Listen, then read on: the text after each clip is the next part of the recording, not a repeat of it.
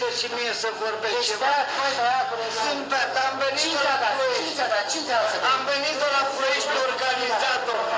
Eu, organizat, am venit cu mașini în fața la casa de la FSN-ul.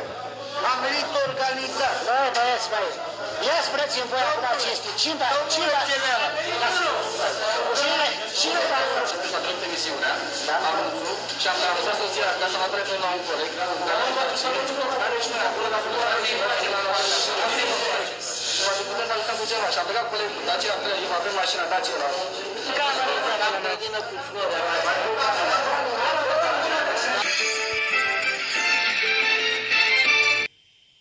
Dezbaterea textului de mediere a legii a decurs fără probleme în cele două camere. Singurii care au avut obiecții asupra textelor au fost reprezentanții PRM. Ei vor de altfel să conteste legea la Curtea Constituțională. Limba maghiară, respectiv limbile minorităților naționale, în special cea a țiganilor, devin limbi oficiale în anumite zone ale țării. Ministrul Administrației Publice, Octav Cosmâncă, spune însă că noua lege este modernă și în spirit european. El respinge temerile reprezentanților PRM. se asigură traducerea simultană în limba română și absolut toate documentele se uh, încheie în limba română. Deci, în consecință, nu există niciun motiv să avem temere în legătură cu introducerea pe căi ocolite a unei a doua sau a treia limbi în uh, România. Probabil că 3-4%, maxim 4% din eh, loc, localitățile României eh, se va eh, impune de aplicarea eh, acestor eh, dispoziții.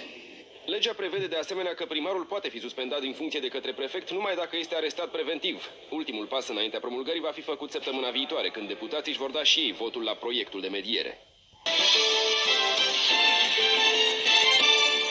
Devastator în noaptea de luni spre marți la mănăstirea Turnu din Târgșorul Vechi, județul Prahova, una dintre cele mai vechi din țară. Alarma a fost dată în jurul orei 3 și 30 de minute, iar 38 de pompieri au intervenit de urgență. Ei au acționat cu 14 autospeciale de stingere cu apă și spumă. Focul a cuprins casa parohială, extinzându-se rapid la acoperiș și la etajul 1 al clădirii pe o suprafață totală de aproximativ 800 de metri pătrați. Au fost afectate și mai multe chilii din apropiere. La fața locului s-au mai deplasat încă 12 pompieri pentru a-i ajuta pe colegii lor și localnicii au dat o mână de ajutor. După 5 ore de eforturi, pompierii au reușit să stingă incendiul. Din fericire nu s-au înregistrat victime, iar focul nu a ajuns și la biserica din apropiere. Conform reprezentanților ISU Prahova, incendiul a izbucnit din cauza unor candele lăsate nesupravegheate lângă o icoană aflată în afara clădirilor, în apropierea unor materiale din plastic. Mănăstirea Turnu este amplasată pe vatra unei străvechi așezări și este considerată și un important centru monahal și spiritual. Complexul mănăstiresc adăpostește o biserică de mare valoare, ctitorită de Vlad Țepeș în urmă cu mai bine de 560 de ani.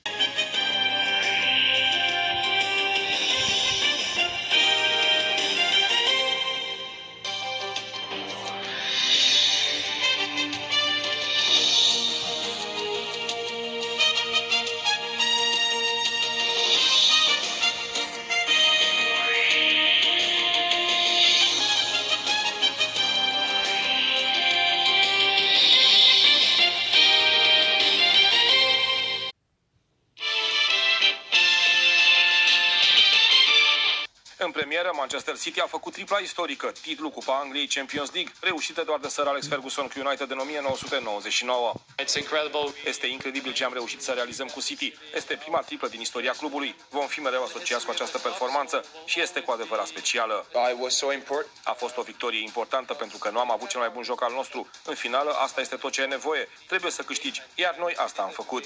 Aflat la al treilea succes în UEFA Champions League, Guardiola a avut timp și de glume.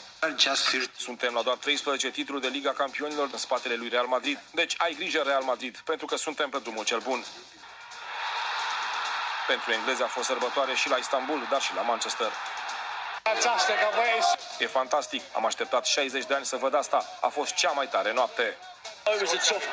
A fost un meci greu. Dacă te uiți la șansele create, am fost acolo. Ne-am apărat foarte bine și am reușit să câștigăm.